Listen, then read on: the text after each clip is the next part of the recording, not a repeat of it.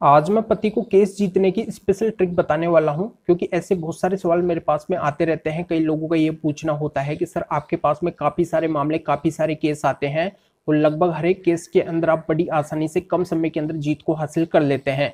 तो उन केसों के अंदर आप कौन से ट्रिक को यूज़ करते हैं? कौन से ट्रिक के माध्यम से आप उन केसों के अंदर जल्दी से जल्दी सफलता हासिल कर लेते हैं? तो यही सब मैं इस वीडियो के अंदर बताने वाला हूँ। इनमें से एक ट्रिक मैं आपको बताने वाला हूँ कि आप आपका जो भी केस है, उसके अंदर किन लोगों की गवाही करवा के उस केस को आसानी से अपनी साइड में कर सकते हैं, उस केस को आप जीत सकते हैं।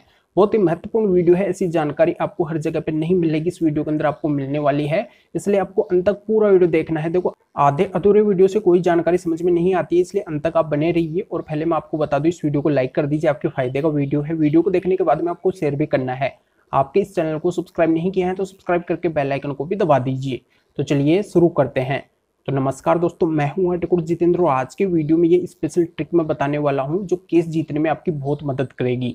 अगर आपका कोई भी केस चल रहा है, चाहे फोर नाइनटी एटे का हो डीवी का हो मेंटेनेंस का हो, अदर कोई भी केस क्यों ना हो, चाहे डाइवोर्स का हो, उन केसों के अंदर अगर आप इन लोगों की गवाही करवाते हैं तो बिल्कुल वो केस है जो आपकी साइड में आ जाएगा। क्योंकि देखो यहाँ पे अगर पत्नी आपके ऊपर केस करती है तो विभिन्न प्रकार के आपके ऊपर आरोप लगाती है, आपको गलत साबित करने की कोशिश करती है।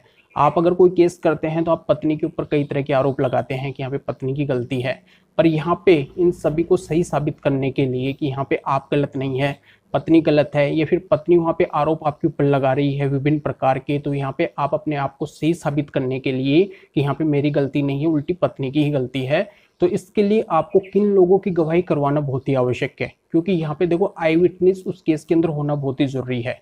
अगर यहाँ पे आई विटनेस है या फिर ऐसे विटनेस है जो आपके बारे में जानते हैं कि यहाँ पे आपकी गलती नहीं है और उन लोगों की अगर आप उस केस के अंदर गवाही करवाते हैं तो बिल्कुल श्योरली वो केस है जो आपके पक्ष में आ जाएगा। यानी कि आपको यहाँ पे ज़्यादा मशक्कत नहीं करनी पड़ेगी, क्योंकि यहाँ पे विटनेस यानी कि गवाही का रोल है जो बहुत ही महत्वपूर्ण उस केस के अंदर होता है।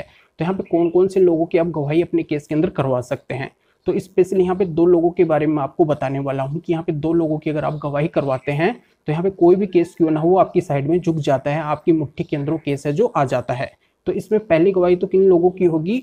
आपके जो पड़ोसी हैं, यानी कि पड़ोसियों की गवाही करवाना बहुत ही ज़रूरी है। यानी कि पति यहाँ पे अगर किसी केस के अंदर सफलता हासिल करना चाहते हैं तो यहाँ पे पति के जो आस पड़ोस के लोग हैं उनमें से यहाँ पे गवाही करवाना बहुत ही ज़रूरी है, क्योंकि पड़ोसियों को पता होता है कि आपके घर के अंदर क्या घटना हो रही है या फिर आपका व्यवहार कैसा है।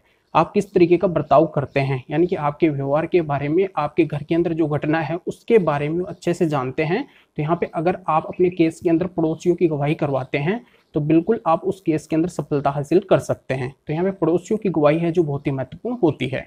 अब पति को केस जितवाने के लिए दूसरी महत्वपूर्ण गवाही होती है, शादी करवाने वाले मीडिएटर या फिर पत्नी के परिवार के जो भी महत्वपूर्ण सदस्य हैं, उनकी गवाही। यानी कि इन लोगों की अगर आप उस केस के अंदर गवाही करवाते हैं तो यहाँ पे पति की साइड में केस है जो आसानी से झुक जाता है। क्योंकि ये लोग अगर निष्पक्ष गवाही देंगे तो पति की साइड में केस है जो आसानी से आ जाएगा। यानी कि पति अगर कोई भी केस को जीतना चाहते हैं तो उन केसों के अंदर इन लोगों की गवाही करवाते हैं तो केस है जो आसानी से आ जाता है।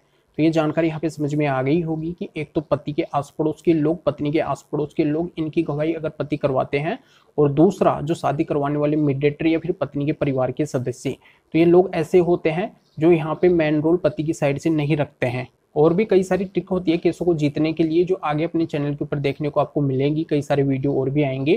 तो ये जानकारी समझ में आ गई। वीडियो को ज़रूर लाइक करें, अगर लाइक नहीं किया और शेयर भी कर दीजिए और लोगों को भी जानकारी का पता चल सके। तो फिर आगे मिलेंगे वीडियो नए टॉपिक के साथ में। आप सभी का बहुत बहुत धन्यवाद।